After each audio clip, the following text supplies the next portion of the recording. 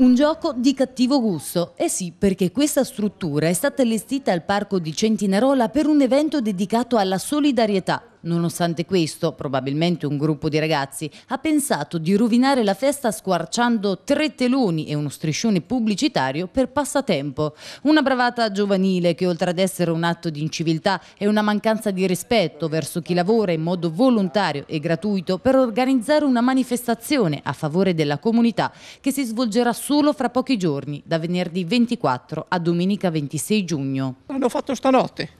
Questa mattina siamo arrivati e è tutto questo, questo guaio. Chi pensate possa essere stato? Io penso che sono questi di qui. Il motivo non si sa, ma io sempre per gioco perché l'interesse non c'è.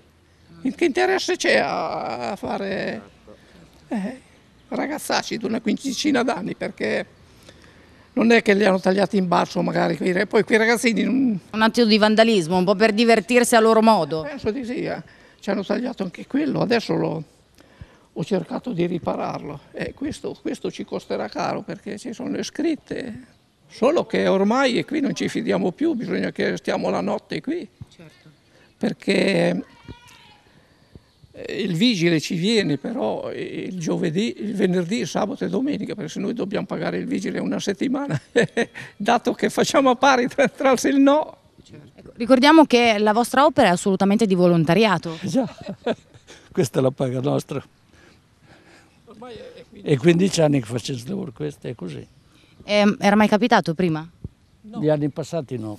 Eh, noi non ci salviamo più, io sto là davanti il bar, lì, sopra la macelleria, lì c'è, il lavatoio, lì, eh, fino a mezzanotte la gente eh, con il pallone, buttano il pallone di là, di qua, poi c'è qualcuno che prendono, sono, sono ragazzini. Ma... Ecco, ci, ci mostri anche da questa parte, quello lo stesso è stato rovinato la notte scorsa? Sì, sì. Lì e lì, cioè, quelli là erano attaccati di, di qua di, da questo. A quanto pare però questo è solo l'ultimo episodio di vandalismo. Nell'area infatti sono stati diversi i dispetti e i danni arrecati. Com'è la situazione qui nel parco?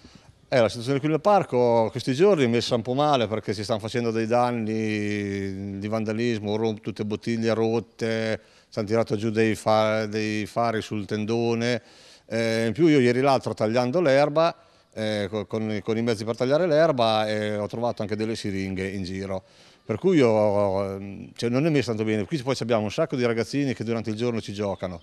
Tutte queste bottiglie rotte, noi stiamo sempre qui a raccogliere questi vetrini, però è una cosa che secondo me non va bene. Ci vorrebbero magari dei controlli in più? Sì, dei controlli in più, anche specialmente durante la notte. Noi l'abbiamo richiesto anche ieri l'altro quando abbiamo visto che ci hanno tirato giù questi lampioni da sto tendone eh, abbiamo chiamato i carabinieri, ci avevano assicurato che facevano sti giri alla notte a vedere, eh, poi se, se, sono passati non lo sappiamo perché noi alla sera andiamo a dormire, dopo aver montato tutte queste cose che siamo stanchi.